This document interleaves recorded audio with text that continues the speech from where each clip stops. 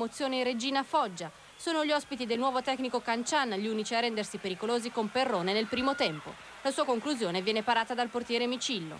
È finito 1-1 l'anticipo.